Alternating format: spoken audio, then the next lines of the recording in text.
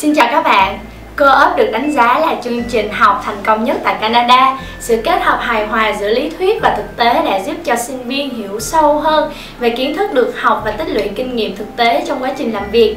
Thì thực tập tại một quốc gia như Canada giúp cho sinh viên làm đẹp bộ hồ sơ và thuyết phục những nhà tuyển dụng khó tính nhất, giúp cho sinh viên nâng cao cơ hội làm việc tại các tập đoàn lớn ngay sau khi tốt nghiệp đồng thời mang lại một nguồn thu nhập hấp dẫn cho sinh viên Việt Nam thì hôm nay, chúng ta sẽ cùng tìm hiểu về chương trình thực tập hưởng lương và định cư tại Canada nhé. Co-op được viết tắt của từ Cooperative Education Programs. Đây được coi như là một chương trình học có tính chỉ và sinh viên phải hoàn thành trong thời gian học để có thể đủ điểm tốt nghiệp. Chương trình vừa học vừa là chương trình học phổ biến và thu hút hàng trăm nghìn sinh viên quốc tế đến Canada du học bởi kinh nghiệm tính thực tiễn và thu nhập chương trình mang lại. Thì khác với những chương trình co-op thông thường, chương trình thực tập hưởng lương lần này sẽ tập trung vào các ngành nghề có thu nhập cao và nâng cao cơ hội định cư của sinh viên Việt Nam tại Canada. Hiện nay thì Canada đang đối mặt với tình trạng mất cân đối trầm trọng trong một số các ngành nghề trọng điểm. Tính đến năm 2017 thì mức chênh lệch này đã tăng đến 1,5 triệu người. Chính vì vậy những ngành nghề đang thiếu hụt này sẽ được đặc biệt ưu tiên trong chính sách nhập cư và làm việc tại Canada dành cho sinh viên quốc tế. Thực tập hưởng lương sẽ diễn ra từ 12 cho đến 14 tuần ngay trong thời gian học. Học chương trình Co-op ở Canada, các nhà tuyển dụng tìm về các trường cao đẳng, đại học này để tìm kiếm nhân lực cho công ty mình. Các nhà tuyển dụng có thể trả lương cho bạn tùy theo chương trình và tính chỉ sau khi hoàn thành được lưu vào số tính chỉ tự chọn của sinh viên.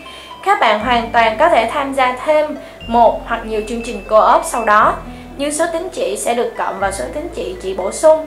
Vậy là sau khi ra trường thì các bạn đã vượt số tín chỉ mong đợi. Điều này sẽ thuận lợi hơn trong việc xét tuyển vào làm việc tại các công ty sau này. Ngành thực tập đa dạng và mức lương cao thì các ngành thực tập trong chương trình không chỉ tập trung vào các ngành nghề định cư, mà còn rất nhiều cơ hội việc làm khác, phù hợp với các ngành học của từng bạn.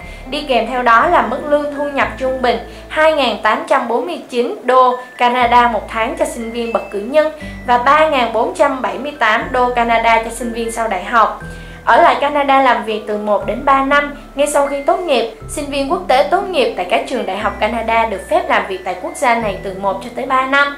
Do nhu cầu nguồn nhân lực lớn của quốc gia này, thì so với các trường quốc gia khác, thì đây là chính sách cho phép sinh viên lưu trú lâu nhất trong diện ở lại sau khi tốt nghiệp. Thời gian thực tập linh hoạt, thoải mái cho sinh viên lựa chọn. Sinh viên có thể thoải mái thu xếp thời gian, đăng ký thực tập bất kỳ thời điểm nào trong khóa học của mình để sắp xếp thời gian học tập làm thêm một cách hợp lý nhất. Được nhà trường bảo hộ và hỗ trợ trong việc tìm công ty thực tập thì trong thời gian học tập tại Canada, nhà trường sẽ phụ trách tìm kiếm, thắt chặt quan hệ với những công ty, tập đoàn lớn của đất nước, hỗ trợ các bạn sửa CV, luyện phỏng vấn và tổ chức các hội trợ việc làm nhằm đảm bảo cho sinh viên quốc tế có thể tìm được một công việc thực tập hấp dẫn nhất thì sau khi tốt nghiệp sẽ có ưu thế ở lại xin việc và xin định cư. Những sinh viên xuất sắc sẽ có cơ hội được nhận và làm việc luôn tại chính nơi mà mình thực tập.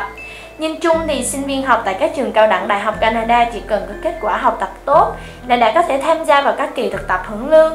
Theo quy trình, các bạn đủ điểm sẽ nộp form đăng ký với trường, sau đó được sắp xếp để tiến hành phỏng vấn với các nhà tuyển dụng. Nếu được chọn thì sinh viên sẽ bắt đầu chuyển co-op của mình ngay sau khi học kỳ gần nhất kết thúc. Thời gian thực tập sẽ kéo dài trong vòng khoảng 4 đến 8 tháng. Trung bình mỗi sinh viên sẽ có từ 2 đến 3 lần tham gia chương trình thực tập hưởng lương trong mọi khóa học. Ngoài ra thì các trường có quy định tổng thời gian làm co-op, không được phép vượt quá 50% thời lượng khóa học.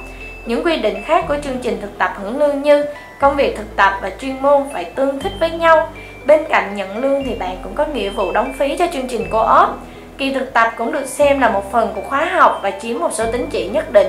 Đôi khi co-op là học phần bắt buộc đối với một số chuyên ngành đặc biệt. Để cập nhật đầy đủ thông tin về chương trình thực tập hưởng lương và định cư Canada cũng như bất kỳ thắc mắc về quy trình thủ tục hồ sơ xin visa du học thì đừng ngần ngại mà hãy liên lạc ngay với chúng tôi, công ty tư vấn du học Tân Đại Dương theo địa chỉ như sau chi nhánh tại quận 1, mặt tiền 148 1 Trần Quang Khải, phường Tân Định, quận Nhất, điện thoại 028 38 48 48 79 hoặc chi nhánh tại quận 5 902 Trần Hưng Đạo, phường 7, quận 5, số điện thoại 028 38 38 2080 hoặc các bạn có thể truy cập vào website tân đại dương.edu.vn, tddvn.com hoặc visacanada.edu.vn và lưu ý là Tân Đại Dương không có chi nhánh nào tại Hà Nội nhé. Xin chào các bạn.